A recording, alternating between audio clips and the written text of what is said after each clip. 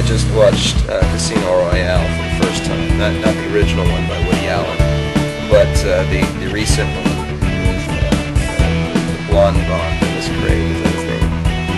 Anyway, um, I thought it was a pretty good flick. Unfortunately, the DVD wouldn't play on my uh, on my DVD player. Why would it not play? Well, I, I, I looked into the situation after found out that Sony, after getting sued over putting digital rights management software on their uh, CDs, on audio CDs, has decided that they're going to put digital rights management software on their DVDs. Alright, let's look at what digital rights management software is. In its basic form, it's something that prevents you from being able to illegally copy a DVD or CD or something like that. That's the basic idea. In practice, however, it ends up being a virus which prevents your computer from operating to its full capacity. And it pisses me off when I see this digital rights management software, DRM, on CDs and on DVDs. Because number one, I know how to get through just about any of them. All right, I haven't found one yet that I haven't been able to break through. Number two, it is a virus. Okay, just because it's manufactured by a business doesn't mean it's not a virus.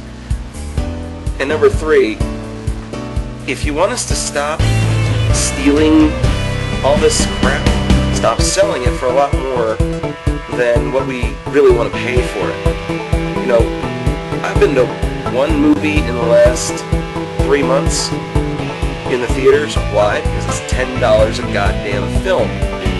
Ten dollars a person.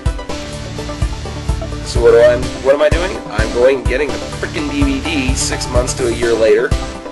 Actually, I only have to wait about six weeks most of the time. Most movies are out on DVD six weeks after they leave the theater, so you figure they run for six weeks. Okay, I gotta wait about three months after their release date, and it's on DVD. Why should I pay $10 now for me and $10 for my date when I can spend $14 at Walmart three months later or $19 at Walmart three months later and enjoy it for the rest of eternity on my widescreen TV? It just doesn't make any goddamn sense, people.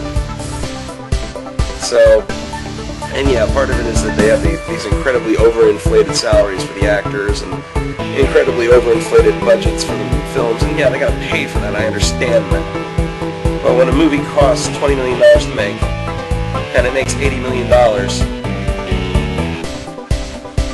grosses at the box office, they were obviously charging too much money for that film. I'm not paying. And I'm not paying for Sony DVDs anymore. I'm taking this one back. Yeah, I watched it on my computer after beating the DRM software. Um, but I'm taking it back because I can't play it on my DVD player on my television because it's a generic product and doesn't have the ability to read the DRM uh, code and therefore won't play it. So it's going back. I'm taking it back. I spent uh, 20 bucks or no, it wasn't that much. It was like uh, $14. Screw DRM, screw Sony, screw them all. Fuck them all. That's all I gotta say. See you later.